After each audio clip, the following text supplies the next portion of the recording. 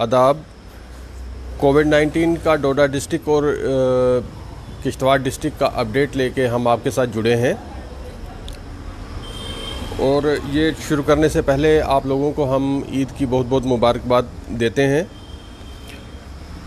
तो शुरुआत करने से पहले हम पहले जम्मू कश्मीर पे पूरे पे नज़र डाल लेते हैं कि जम्मू कश्मीर में अभी तक जो पिछले 24 घंटों में जो हाल रहा है, वो इस तरह से है कि 213 नए केसेस आए हैं, जिसमें चौंसठ ट्रैवलर हैं और अदर्स जो हैं two fifty five fifty nine लोग जो हैं, वो ट्रैवलर हैं। और ये आंकड़ा अब, ये 613 का जो आंकड़ा आया है, इसको अगर मिला लें तो अभी तक बीस हज़ार नौ सौ बहत्तर नए टोटल केसेस जो हैं, वो हो गए हैं पूरे जम्मू कश्मीर में। और जो रिकवर्ड हुए हैं 24 घंटों के दौरान वो छः लोग हैं और अभी तक बारह हज़ार आठ सौ इकहत्तर लोग जो हैं वो रिकवर्ड हुए हैं और जो अभी एक्टिव हैं, वो सात हज़ार सात सौ तेरह लोग जो हैं वो एक्टिव हैं और जो डेथ हुई है पिछले 24 घंटों के दौरान, वो 12 हैं। उनको मिला लिया जाए तो तीन सौ अट्ठासी लोगों की अभी तक डेथ हुई है पूरे जम्मू कश्मीर में। इसमें जम्मू में अभी तक 28 लोगों की डेथ हुई है और कश्मीर डिवीज़न से 360 लोगों की डेथ हुई है।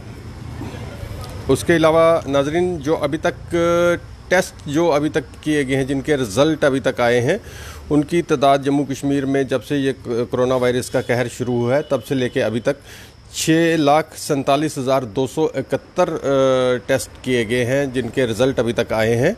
उसमें से छः लाख छब्बीस हज़ार दो सौ निन्यानवे लोग जो हैं वो नेगेटिव रहे और बीस लोग जो हैं वही पॉजिटिव रहे हैं।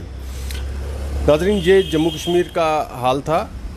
तो इसके बाद हम आपसे आपको डिस्ट्रिक्ट डोडा का से शुरुआत करते हैं। डिस्ट्रिक्ट डोडा में आज 19 नए केसेस आए हैं।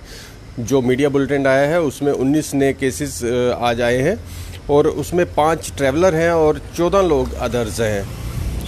उसके अलावा जो टोटल फिगर है वो डोडा डिस्ट्रिक्ट की वो दो सौ अट्ठासी हो गई है।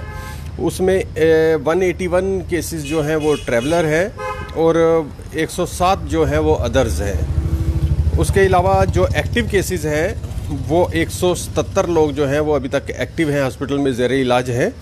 और जो अभी तक रिकवर्ड हुए हैं, पिछले 24 घंटों के दौरान भी डोडा डिस्ट्रिक्ट में 30 लोग जो हैं वो रिकवर्ड किए हैं।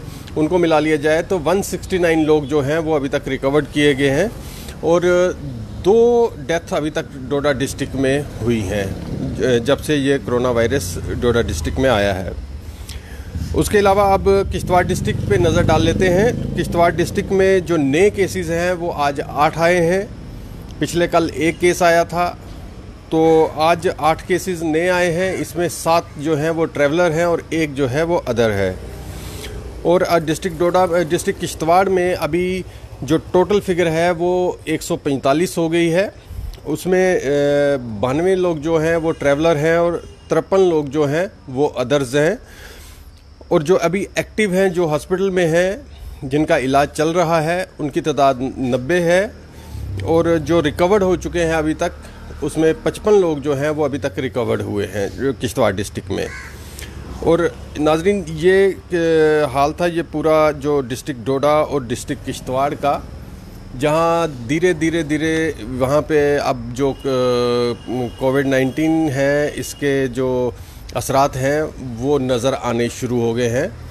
पहले वहाँ पे रुके के सारे थे, लेकिन किश्तवाड़ डिस्ट्रिक्ट की बात करें तो किश्तवाड़ डिस्ट्रिक्ट एक ऐसी डिस्ट्रिक्ट है जिसमें अभी तक 145 केसेस आए हैं और ये फिगर सबसे कम है किसी भी डिस्ट्रिक्ट की। और इस किश्तवाड़ डिस्ट्रिक्ट में 145 केसेस के साथ ये सबसे नीचे है, जहाँ पे केसेस की तादाद सबसे कम आई है अभी तक।